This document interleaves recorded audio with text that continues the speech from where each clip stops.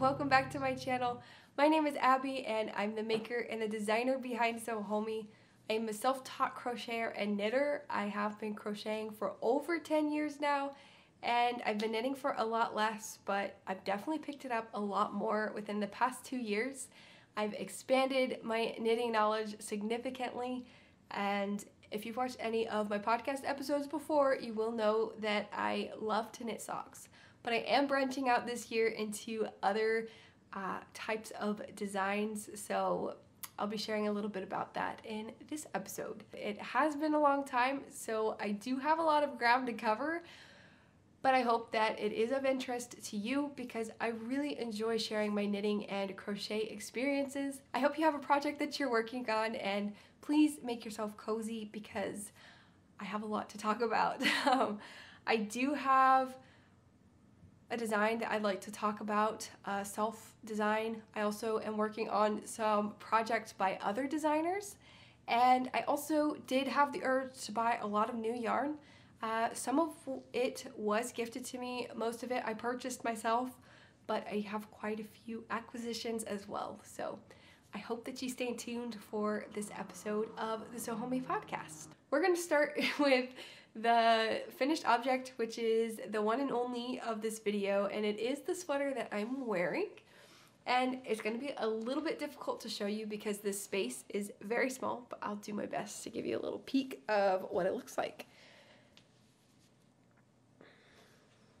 So you can see there's a little bit of color work in it.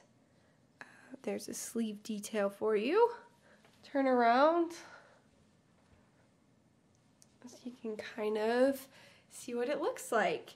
But this sweater is called the basket sweater and that's actually not, I guess it's intended name. Uh, that's just what it came out as. I gained access to this pattern via a test knit and she called it, or sorry, it's a pattern by Fiber Tales, or at least that's her handle name. I think her name is Larka, or I have problems pronouncing that name, but uh, she runs the Fiber Tales podcast and she has a lot of other pattern designs out there. And yeah, definitely go give her a look. The title of the pattern is called Basket Sweater, but she said that that's not really what she wanted to end up with as the design name. It's just kind of a placeholder, I guess. But uh, this test knit, unfortunately, was put on hold, and to my knowledge, it has never you know, been called again. I don't believe that this pattern has been published, but I still had access to that pattern and I had the yarn for it and I had already started it, so I was very interested in finishing it because since the pattern test had been on hold, I just kind of threw it in a corner and I completely forgot about it until I was cleaning out some of my yarn stuff, trying to fit more yarn in there because I had acquired quite a bit uh, from my trip to Spain and I was trying to find a place for it. But I came across this pattern and I was like, I really want to finish that. And then the opportunity came whenever I went to North Carolina over Thanksgiving because my boyfriend was playing in a chess tournament there. So I had four days to work on this sweater and I actually made a different video for that one. I challenged myself to knit the sweater in a total of four days, but I'll leave it at that so you can go watch that video. It will be the next one after this podcast episode airs, and I'm really excited for that one. It was a lot of fun to film. Um, I don't really do, or I haven't really done vlog style videos before, but that's what that one is, and I had a lot of fun with it. It's kind of a pain to edit, to be completely honest, because there's so much footage to go through. But I'm very happy with the end result, and I'll let you watch that video to see if I actually completed it within those four days. But anyway, this pattern is a yoke style sweater. It is top down. This is the second time I knit a yoke style sweater, and I must say, this time it went a lot smoother. Even though the yarn was much um, was much smaller, and it definitely took a lot more stitches to knit. I had a fantastic time knitting this one. Um, what really drew me to this pattern and the pattern test was that it had stripes. I'm just drawn to stripes. I think they're very classic, but also this simple color work. I had done color work on a pair of socks before, but I was intrigued to try it out on a sweater. And since she was still looking for some, you know, uh, I guess testers, I was like, yes, yes, please, let me let me try that. Now, I'm not 100% happy with the way I knit the stripes and the color work together. Um, I can kind of show you what I mean on the sleeve. And whenever I showed you the back, I'm sure you could see there's like a jog, like the lines kind of jog. Um, but you can definitely see right here. Um, I did my best and I looked at a lot of tutorials on how to avoid this, but it was so hard. I don't know what I was doing wrong, but I obviously did not do it right. Uh, but essentially, when you're knitting in the round, since this is knit in the round, um, you're knitting in a spiral. Your rounds are not like 100% equal. I still have a lot to learn, and sometimes I think that it worked out well. Uh, like the uh, gray stripe, you can't really tell where I started and stopped the round. I think that I did it better on that one. But the color work portion where I had a lot of, you know, colors going on, I, I don't know. I just didn't uh, quite get that right. But I am still happy with the way that it looks. And with the sleeves, at least it's like on the inside seam, so you don't really see that. And then I have long hair, so it covers it in the back. But it also helps whenever I put the sweater on, I can visually see which one's the back side um, because I obviously don't want that seam going down the front. Uh, but yeah, um, I did learn a lot on this uh, sweater. And whenever I did the color work, I remember the first time whenever I was knitting that other sweater. Maybe I'll show it in a different episode because it's kind of funny now to me. And it was definitely not the the best sweater I ever knit. But anyway, um, on that one, I remember with it only had two colors and they got so intertwined that I had to stop and unwind it constantly. It was so bad. And so I knew for this sweater I did not want to have to fight three different strands of yarn and it was actually six because I had to hold this yarn together double stranded since um, you know one strand alone was I, I wouldn't meet gauge, it was too thin.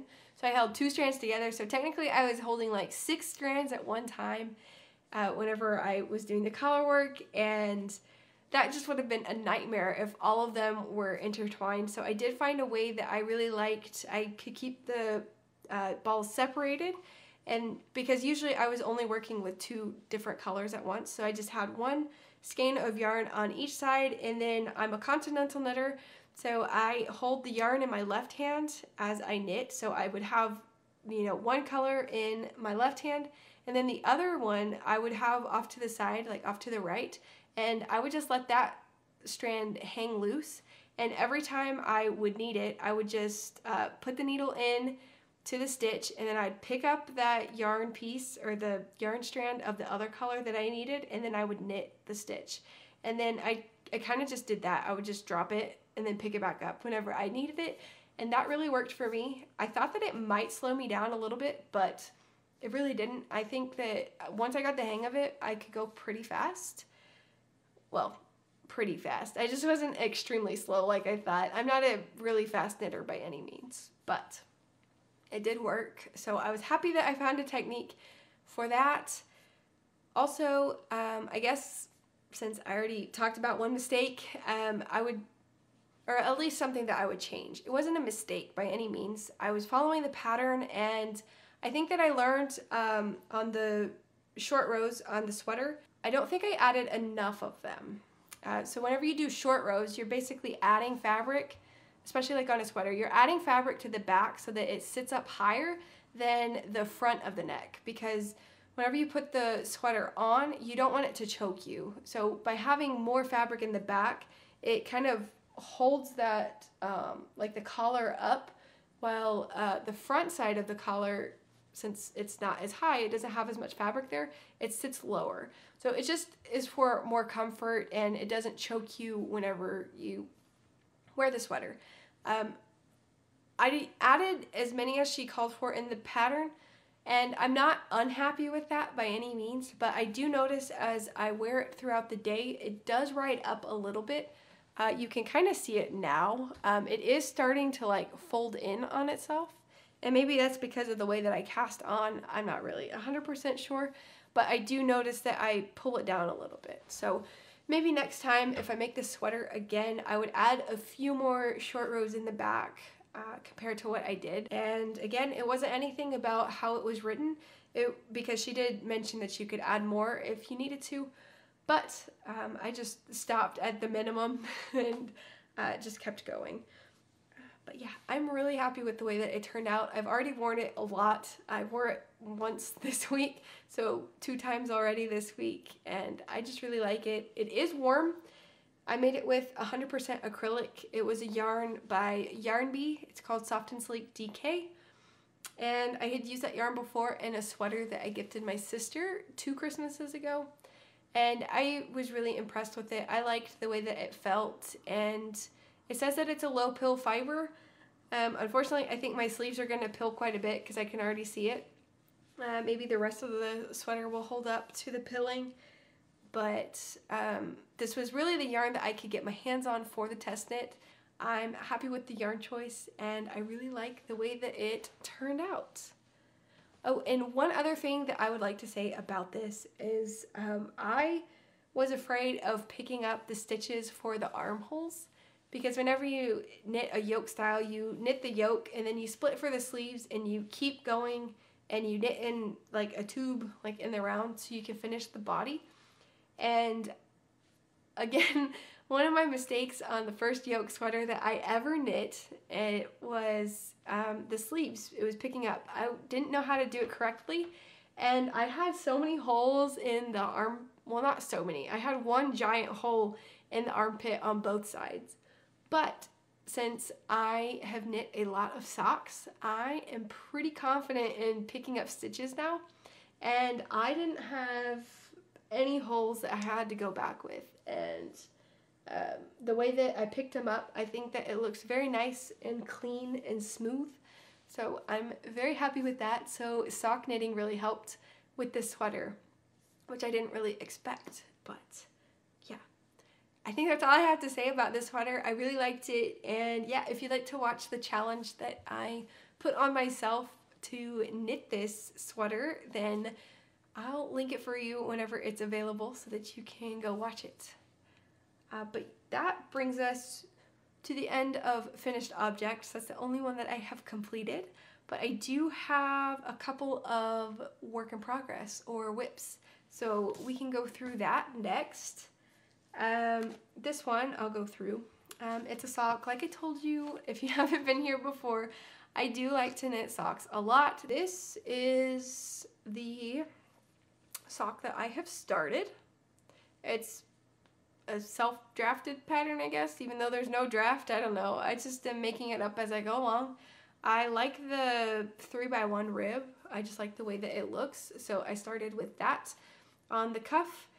And I am using the 9-inch circular needles that I purchased a couple years ago for a test knit actually for uh, Pinrose knits um, for Laura. She it was the cornicette socks, and those were colorwork socks. That was the first experience I actually had with colorwork knit socks, and I enjoyed the whole process. And I got the nine inch circulars because I thought that it would make the um, the color work easier. I had read and watched some videos that that would help. Um, but typically, I like to use um, the magic loop method now. I loved DPNs whenever I first started, and I still like them, but I think I'm definitely a magic circle knitter, or is that what it's called? Yeah, magic circle kniddle, knitter. I can't speak. The needles that I used for that were occupied, and honestly, I can't find them now. I was looking for them the other day, and I don't know where I put them. Um, so I decided to try out the 9-inch circulars again. I thought that they would hurt my hands because uh, my hands cramp sometimes whenever I knit too much. Um, just from, I think I'm a tight knitter, so holding my hands like this in this position just isn't good sometimes, and I forget and I just knit for a long time. and then my hands are cramping. So I thought that that would happen with these, but it really didn't. And also, I started this, I think I cast on six, 64 or 62 stitches, I think, which I think I used for socks for myself on a previous pair of socks. But these seem way too big. I think they're to be too big for me. So I tried it on my boyfriend and I think that these should fit his legs. Uh, so it turned out, you know, not for me. It'll be for him, which he'll be happy. He's always begging me to knit him something. And he really likes the knit socks that I made for him before. Um, and then another interesting thing is these circular needles the needles, I can't remember exactly what size. Let me see. These are two and a half millimeter. Usually I use like a 2.25 millimeter needle. Neat. I can't say knitting needles. Oh my goodness. I keep trying to combine those words. So I thought since these are bigger, I thought that the stitches would be bigger, but somehow I have super super tight stitches. So it's very close together and that's not exactly what I had expected. I'm happy with it. By by all means, I'm happy with it. I think that that's really good quality of the socks. Uh, but it surprised me. I thought that I would have bigger stitches with the bigger needle size. I am testing out the heel flap and gusset method with the 9 inch circulars. That's not something I have ever done before. So that's a little bit interesting. Um, I have started the heel stitches, like that heel flap, I'm doing the knit one, slip one um, in this pattern. And then on the purl side, you just purl all the way across and then you start over with the knit one, slip one. And I really like the way that it looks, but I think it'll give a nice cushiony heel. And I've seen socks like this. I really do like the look of it. So I'm excited for that to see how it turns out. And, but yeah, uh, this is how far I've gone on this sock. I've only started this one. I'm using the Patton Kroy sock yarn. Again, this is like the only sock yarn that I can really find in stores near me, but I really like it. Uh, this is the 50s stripes colorway. I don't know if you can read that. It's a little small. But I really like the Patons Kroy sock yarn because it is 100% superwash wool, or not 100%, I'm sorry. It is 75% wool and it has 25% nylon. I knew that. I don't know why I said it was 100% wool. Uh, but anyway, it's mostly wool and then it has nylon to help strengthen it. But what I really like about this yarn is, especially whenever you are beginning, um, this yarn is very um, sticky, I'm to say, because the fibers just stick together, which is great because since these, you can already see it happening, um, these stitches are about to fall off the needle and I keep these in a bag most of the time. And whenever I actually pulled it out for this podcast episode, um, a few of the stitches had fallen off. But what's great is the stitches just hold um, hold their shape. They don't actually pull through unless you were to pull the strand of yarn. So if you're looking into getting, if you're looking at getting into knitting socks if you've ever been curious about it. Um, maybe start with the Patons Kroy. I've been very impressed. I have a lot of socks knit out of these. They also, you can wash them in the washing machine and dry them and they last. Since I, I talk about socks all the time on my podcast because usually those are the only projects that I have going on. But this time I have a different project that I'm really excited about and I was working on it this morning. So it's in my bag right here. But this is the start to a sweater and it's my first one. I wanted to knit, I guess, first off, uh, this new year is now 2023 and it's February. I realize it's a couple months in already, but I wanted to try different patterns that weren't just socks because I knit socks all the time. So I wanted to try to incorporate a few other projects and Petite Knit is so popular and I think there, there's a reason why. Um, she just has this nice aesthetic. I'm not the only one because there are thousands of people that have, um, you know, done projects by her. So I thought, what better time than to try one now? So this is the balloon sweater. This is the pattern that I am following. Uh, but it has this really nice turtleneck. It's got a nice ribbed turtleneck. And I am so impressed by this cast on.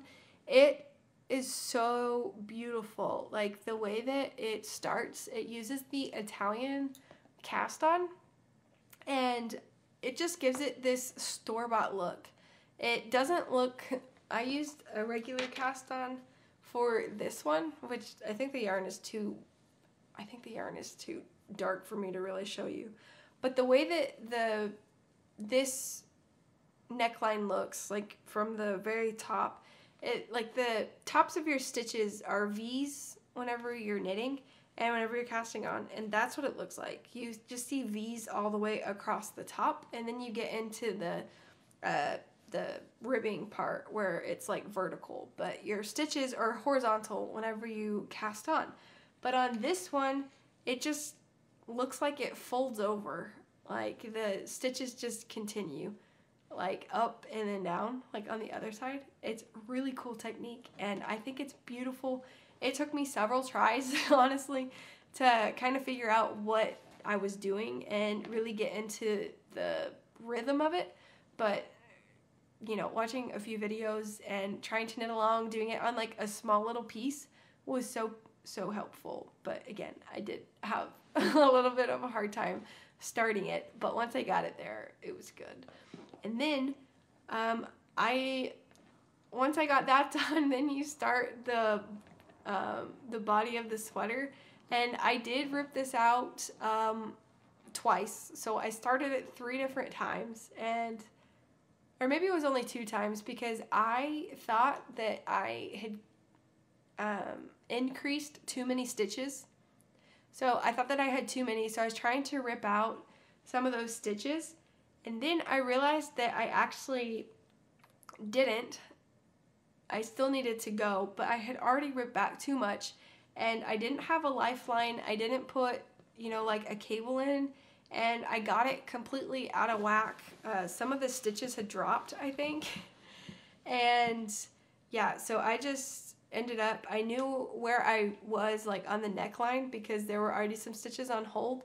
So I just went back to like the first or like the last two rows of the neckline and I just put a little lifeline in. So I just went with my knitting needle and I picked up those stitches and then I ripped back to that portion.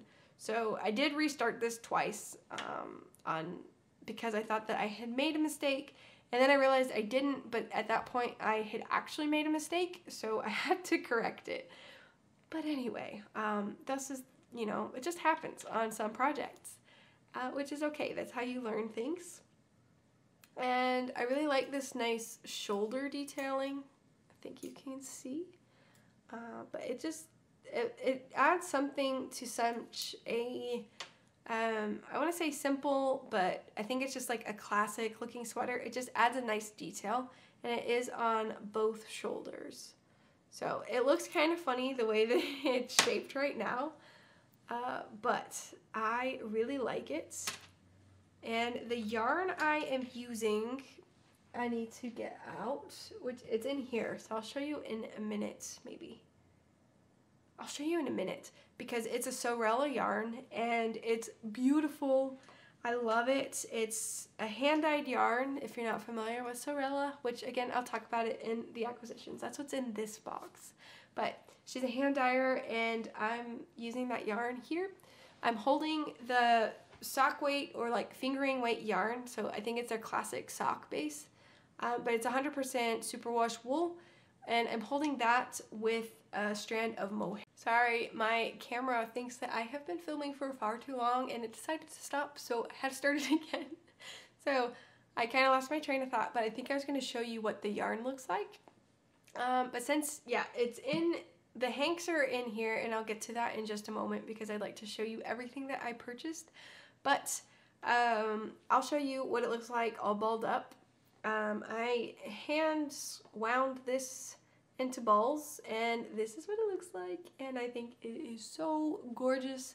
It's very soft, both are very soft, and this is the first time I've ever worked with mohair. Whenever I was winding it, I was kind of afraid that it would like tangle and intertwine into itself because I've heard that that can happen. And maybe it's just whenever you're knitting and you like pull things out, like you rip things out, it's really difficult. I haven't necessarily had that experience yet.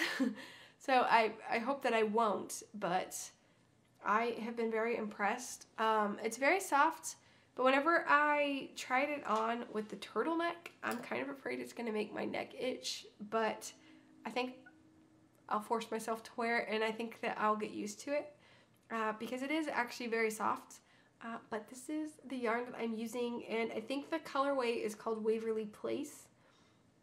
And yes, it's beautiful. I love it. Like I said, first time knitting with mohair, first time knitting a petite knit pattern, and yeah, first time just knitting a sweater with this construction. So I'm really excited. It's a big learning experience for me and I can't wait to have another sweater to wear. Uh, hopefully this will just fly off the needles and maybe in the next episode I can be wearing it in that one.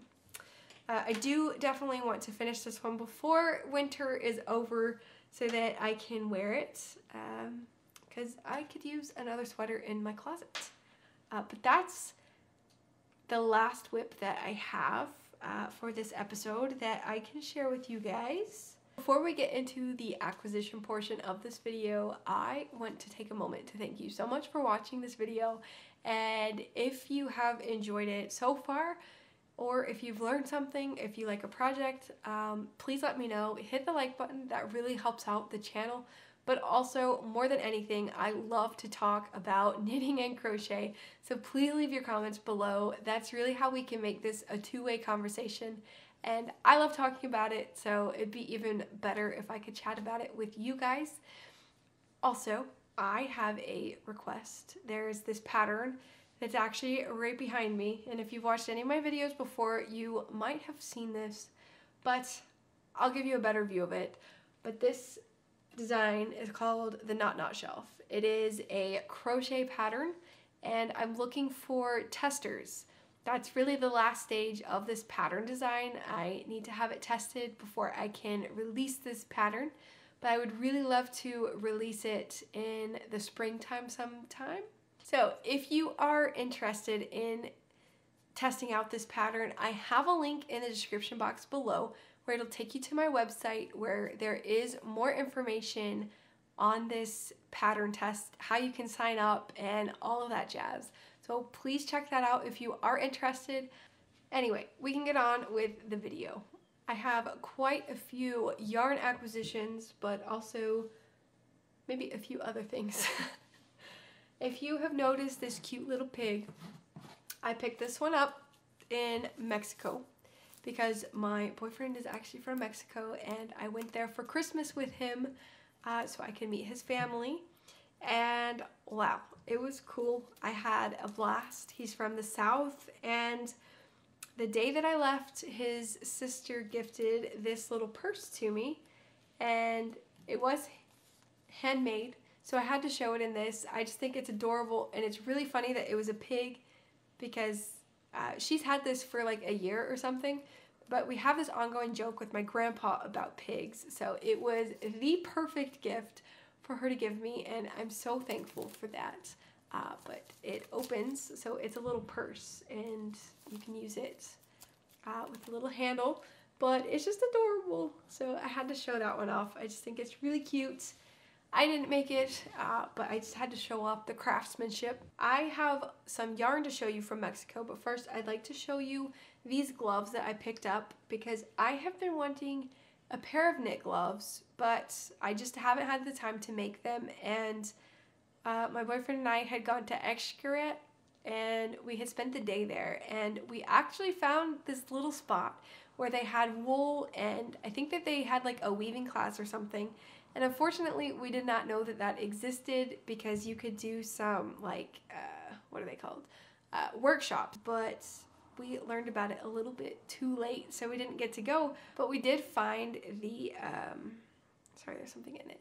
We did find the little shop, I guess, because you could purchase some hand knit things and I found this pair of gloves and my boyfriend got a hat, which I forgot to pick up to show you, but maybe in another episode. I'm really happy that I have a new pair of gloves. They are warm and they came from Mexico of all places. I forgot, I have one more thing from Mexico that is not yarn. I do have yarn still, but it's this bag that I think is just adorable.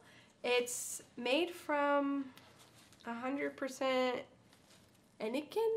How do you say that? Enikin? Um, and I don't remember what this fiber was made from, but they used to make, I believe it was sails for ships, and they just like weave it together. You can kind of see.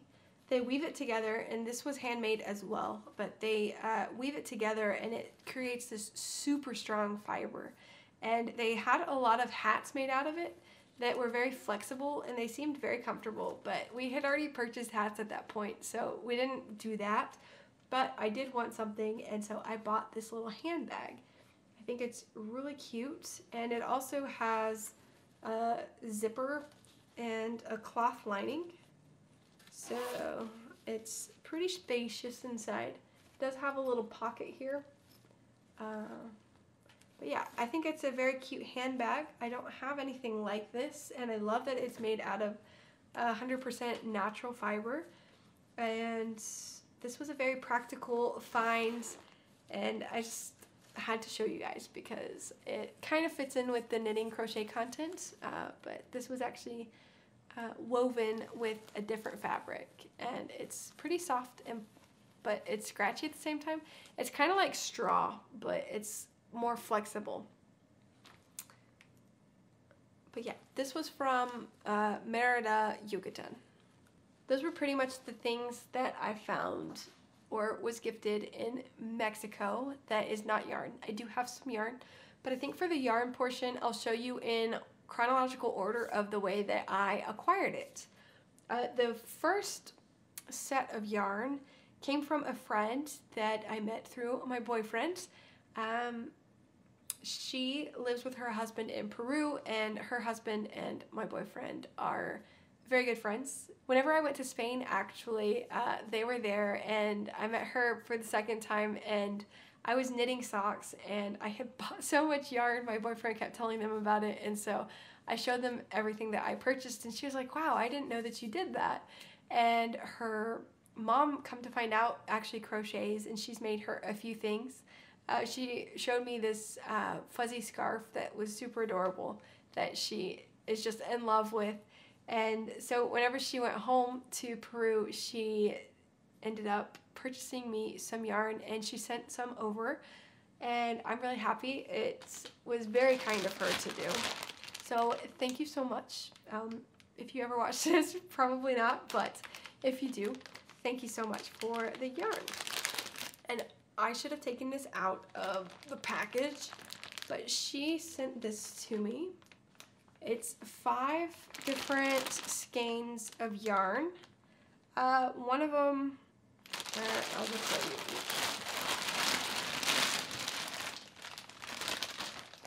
Again, sorry for the crinkles. I didn't think that one through. But um, this one, I think they're all, yeah, I look, they're all 100% acrylic yarn. This one is like baby soft, like buttery soft. Um, I actually think that Lion Brand has a brand of yarn that's called uh, Feels Like Butter.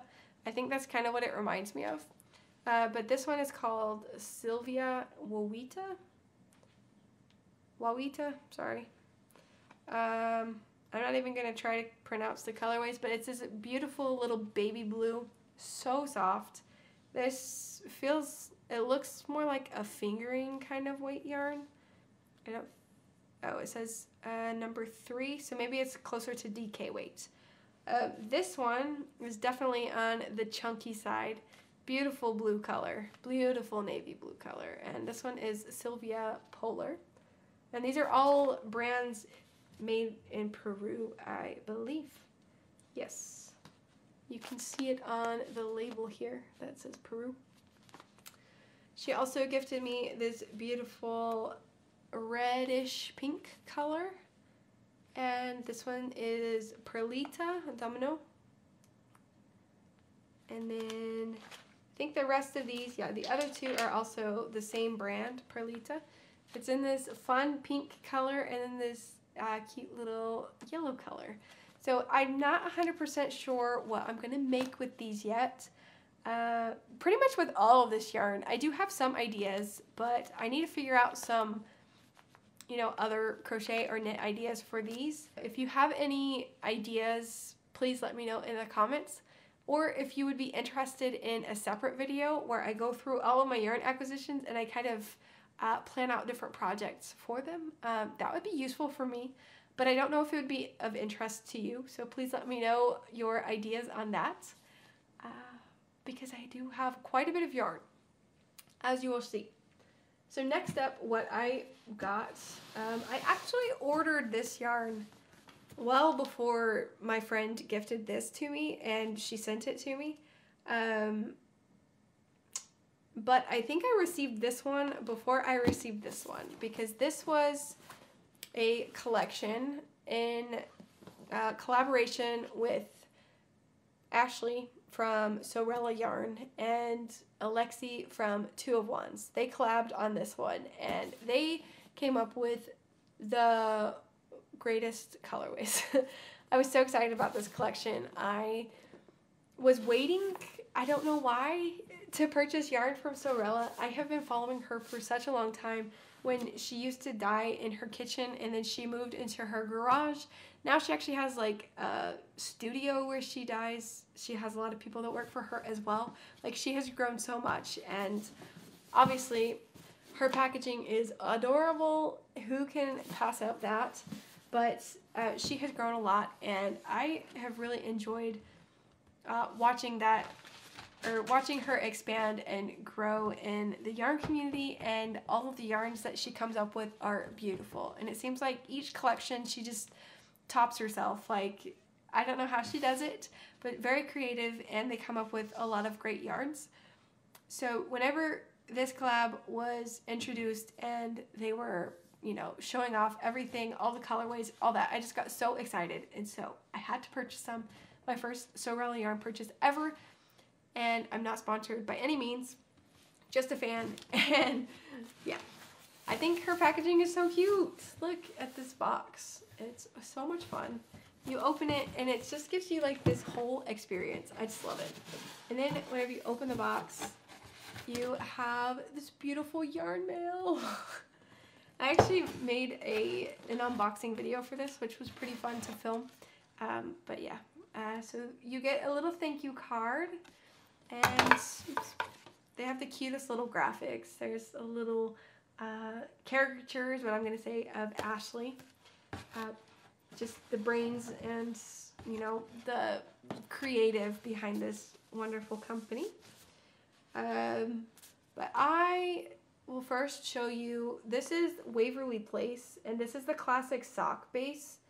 And this is what I'm using in the balloon sweater by Petite Knit. Uh, so that's what the classic sock yarn looks like in a hank. This still this beautiful purpley color. And then this is what the mohair looks like before it's, um, you know, wound up into a ball. So those are Waverly Place. And this collection was all, you know, Alexi, I don't know if you're familiar with her, but she lives in New York. So all of these colorways were based on places um, or things in New York. So keep that in mind. Um, I also bought a sweater's worth of this one, which is called Soho. And this is also classic wool, classic sock, which is 100% superwash wool. I had hopes to also make a sweater out of this one since I bought so much of it.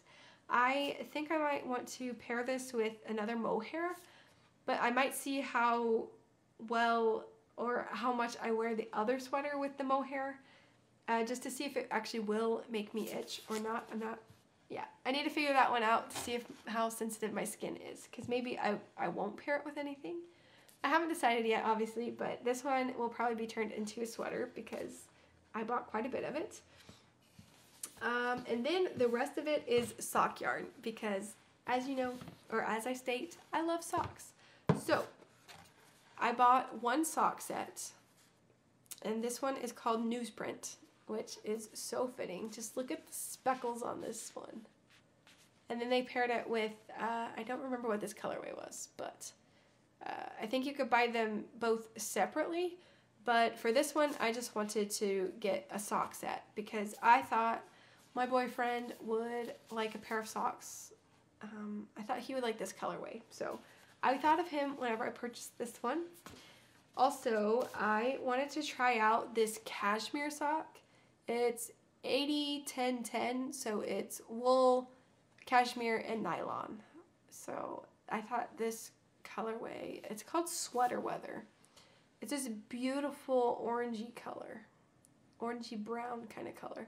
It's super, super soft. And yeah, I think a pair of socks would be fantastic made out of this. So that might be going to myself. I don't know. And then um, I bought these two. I think you could buy them in a sock set as well. But I decided that I liked it and I honestly thought of my sister at first uh, for a pair of socks because I thought of making everybody socks or something handmade for Christmas. Um, that didn't happen this year, so maybe next year. I'm not 100% certain, but I thought that these colors would suit her. She does like this, um, you know, pale kind of pink. But I liked it enough for myself as well, so I figured I would just get two skeins rather than one sock set so that I could get maybe a couple pairs of socks out of it. Uh, so this one is called Nolita. That's the colorway on this one. And it's just this beautiful variegated, creamy, pink, ballerina-esque colors, which I really love. And then this one, I love this pink. I'm not a huge pink person, but this kind of pink I can handle. And this one's called Theater. So they're all uh, just basic sock yarns. This one's superwash merino wool with nylon. So it's an 80-20 blend. Uh, but yeah, I just really love those colors together. So those are definitely going to be socks.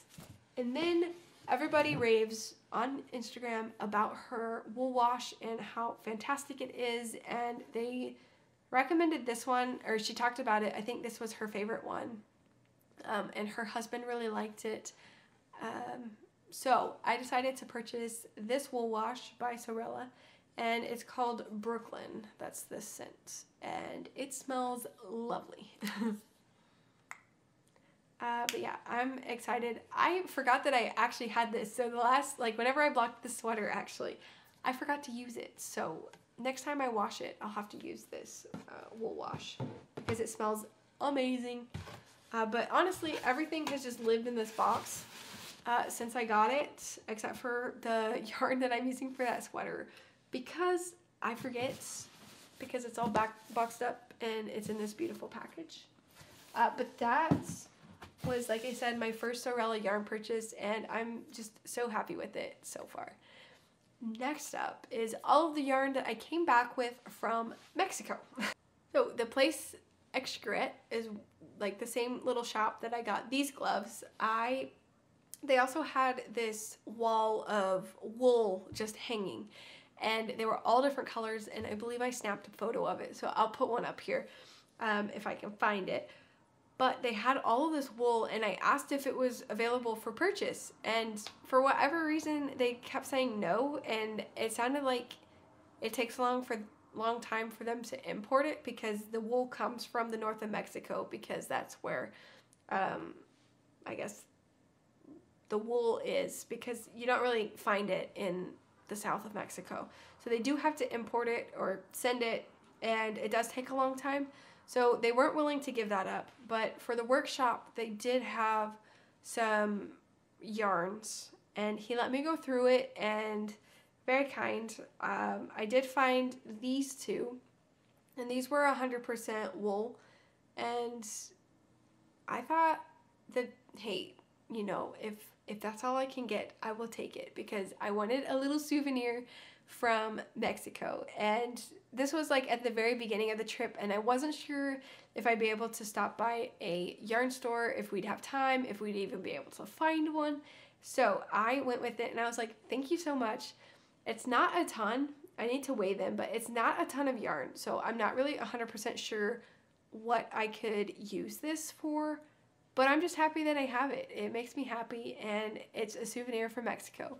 So it's this beautiful gray color and then this little off-white uh, creamy kind of color. So happy that I got these. Um, that was the first yarn that I found in Mexico. Next up, I found, um, I don't know if you have ever been to Mexico, but there are people selling things everywhere and they have like these markets set up.